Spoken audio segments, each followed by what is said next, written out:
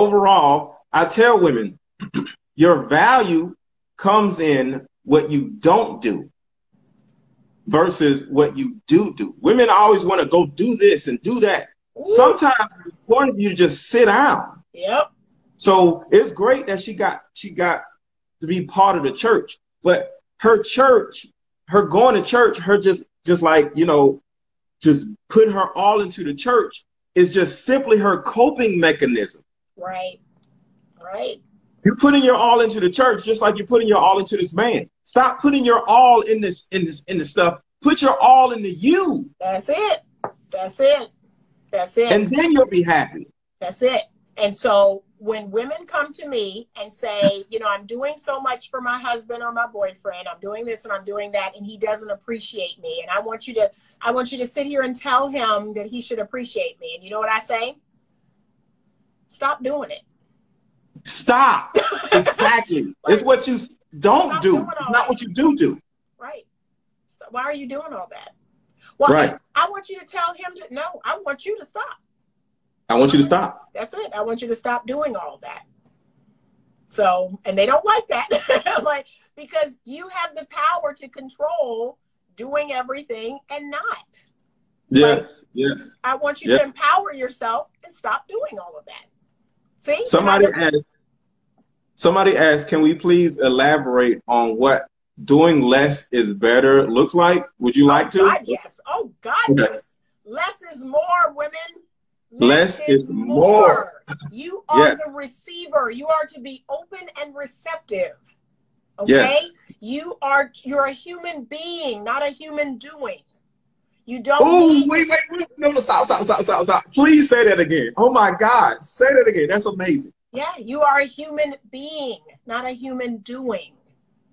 Wow. And so your worth and value. So what I want ladies to know that you are valuable as a mother. You're valuable if you're at work. You're valuable if you're helping your your friend, and you're valuable if you're sitting on the couch eating a hot fudge sundae. Yes. You're equally valuable. Yes. See, and yes. some days that is exactly what I'm doing.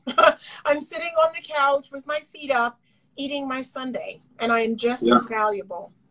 But you got to get there inside of you. You got to get there that you're not doing seeking validation, seeking worthiness. Yes. That's let it. me break this.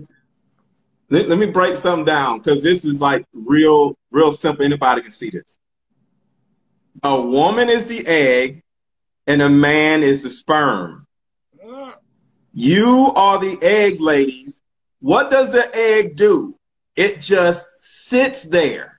Yep. The sperm does all the work and tries to do this and do that. Allow the man That's to it. do stuff. Stop doing that. If, imagine an egg trying to uh, go after the sperm. It wouldn't make sense. Nope. So you are the egg, ladies.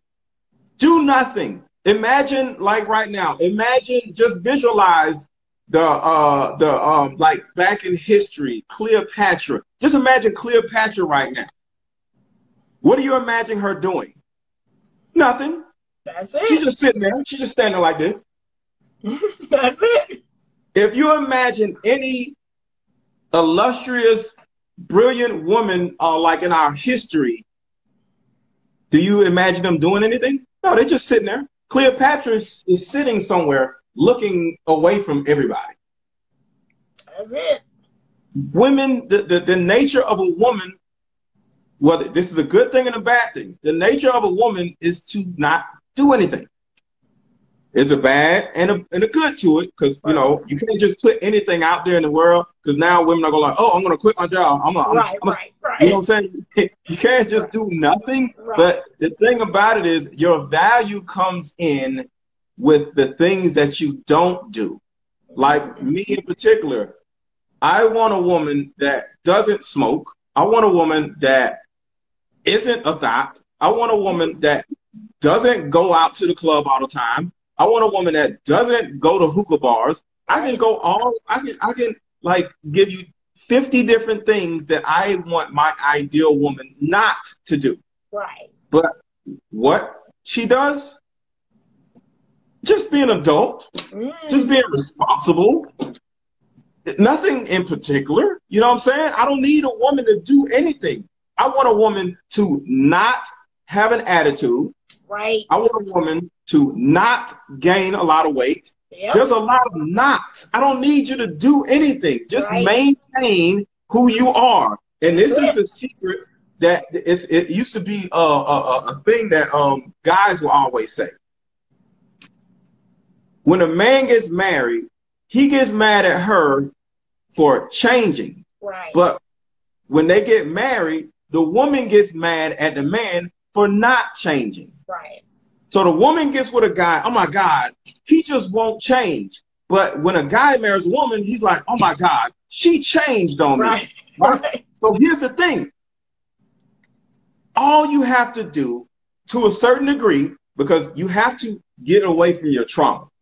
Once you get healed, a man wants you to do one thing stay the same, stay healed, stay at your same weight, stay at your same attitude. Don't don't go adding all this extra stuff. Right. It's about not doing things right. and not instead of doing stuff. Stop doing all this stuff. Sit down. Stop That's having it. this attitude. You know what I'm saying? and, and you'll have a better life. That's it. And let me explain to you the psychology, ladies, behind all of your doing.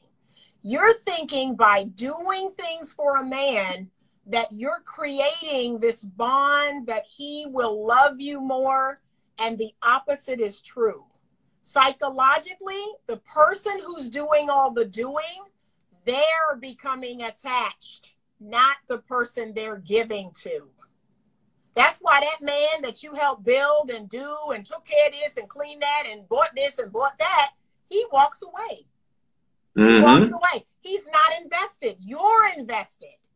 You're invested. You're invested. That's why, nope, I, I make a man invest in me. I make a man give and do for me. He's not so quick to just, well, you know, I'm just gonna throw that away. No, he like, I didn't put in too much time with Anita. I didn't gave too much. I didn't done too much. I got to, I got to work this out. That's what you want. But you think by all you're giving and doing that he's somehow growing more attached. No, you're growing more attached. That's why less is more less is more, ladies. if I could just, if I could get that in you, do less, do less. Now, here's what I want you to become. I want you to become a feminine woman who's warm. Mm, just being in your presence, a man feels better because you are warm and inviting, and you're like, really? Tell me about your day. See? That's what really draws a man in. Tell yes. your day. And he and you listen. Oh my gosh, I can't believe that happened. How did you handle it? You know, you're asking questions and you're oh, you're just warm. You're warm and inviting.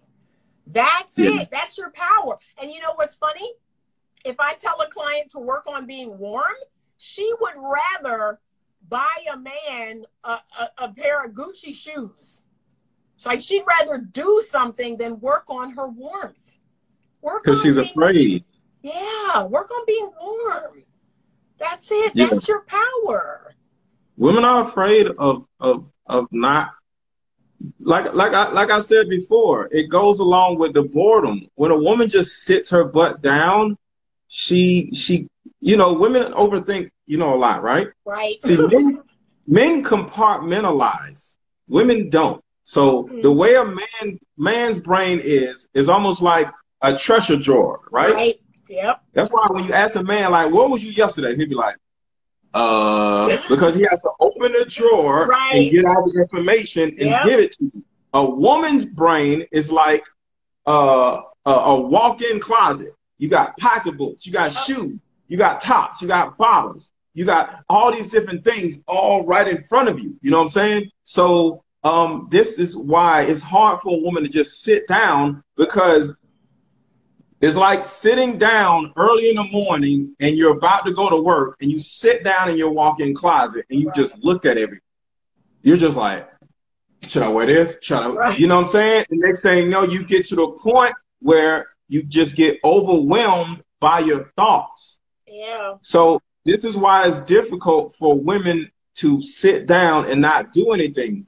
And um, one other thing I wanted to add to what you said. When you put in a lot of work and you invest a lot into a man, mm. you're not necessarily getting attached to the man. You're getting attached to the work. Right. You start building a habit in your brain where you're washing his clothes, you're doing all this, you're doing all that, you're doing all these different things, even though he didn't ask you to do it, and you become habitually doing all these things. And right. if he leaves, guess what? You're back to the same nothing and boredom because now you don't have anything to do. Right. But if you get to the point where you become somebody instead of coming you don't have to do all these things. Right. That's it. You are addicted to the chores, the work, all these things. If you sit down somewhere and you get acclimated with who you are and just be like Cleopatra and just sit here and just chill and wait for somebody to bring you grapes. Right. You'll have a better life. But you have to get the habit together of not doing anything right. because you're addicted to the work. A lot of women want relationships so they can go back to doing things for men. That's one of the main things women miss. And you let me know if I'm wrong, because I'm not a woman. They miss all the doing, right? Because they're bored. Yeah. Not this woman though. I mean, I I miss them doing for me. there you go. I miss them doing for me, but no, I I, I gave that up long ago. No, Love it. I don't do that. but, but I miss them giving for me and doing for me. But you know, I again, ninety percent of my life is my own. It's my own happiness. It's what I'm doing. Um, ladies, I really encourage you to get a life and get a life that you love find hobbies and interests that you love. Yes. Go to yes. go to school, go to therapy. Um, sure. Go to the gym. Yeah, yeah, yeah. and and just have a life that you really love. Have your girlfriends, have your family, if you have children, you know, really love your life. And only when a man can come in and add value to your life, and that's 10%, you're like, okay, you know, this person adds value. But outside of that, I don't want you to feel like you need that to validate who you are. I want you to right. feel good about who you are. So we're almost out of time. This was a very good discussion. I hope you all enjoyed it. Um, but ladies, honestly, I do not want you to participate in your own heartbreak. You have more power than you know. You really, yeah. really do. And I need you all to act like it. A lot of you are playing the victim. You're playing the victim card. And I'm sorry, you played a part. You played a part in your heartbreak. So it's time. It's time to turn the mirror on yourself. It's time to say, no, I have the power. I have the power to vet and qualify every man who approaches me. I can run a background check. I can take my time. I can let time do the qualifying. Okay. Mm-hmm. And no longer am I going to participate in my own heartbreak. A man would literally have to, out of the blue, like just dump me for no reason. But I will have done, I will have done everything I know to do to make sure that that doesn't happen. Okay. If coaching, please check out Aaron Mallory, Mr. Let Go. He has a YouTube channel. I have a YouTube channel. He has a podcast. I have a podcast. Check out our platforms. You got two really great coaches that you can work with. So get the resources, get the knowledge, apply the knowledge. That's the important part. Okay. Right. Thank you all so much. Thank you, Aaron, for